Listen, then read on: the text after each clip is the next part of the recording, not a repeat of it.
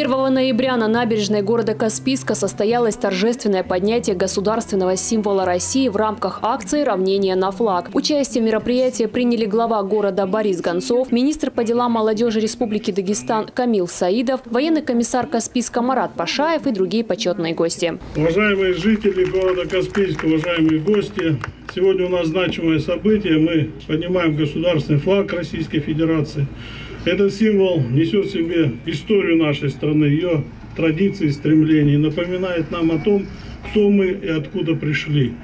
История российского флага берет свое начало еще при Петре Первом, который в 17 веке, смотря в будущее России, выбрал бело-синий-красный цвета, символизирующие силу, веру и честь.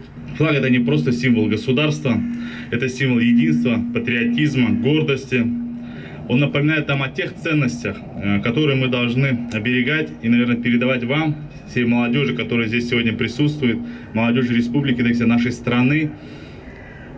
Эти ценности, они вековые.